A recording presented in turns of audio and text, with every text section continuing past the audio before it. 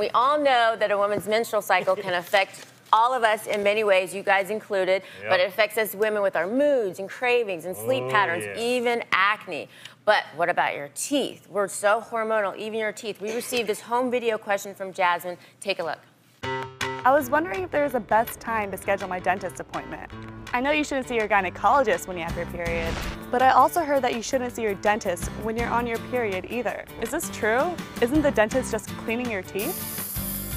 Thanks, doctors. To answer this question, we enlisted the help of a dentist, Dr. Kari Sakurai. Take a look. Your menstrual cycle can affect your oral health. Hormonal changes during menstruation can cause irritation, inflammation, and your gums can bleed more than normal. If you need a cavity filled, oral surgery, or a teeth cleaning, make the appointment a few days after your period has ended when your hormone levels are the lowest and you and your gums are not as sensitive.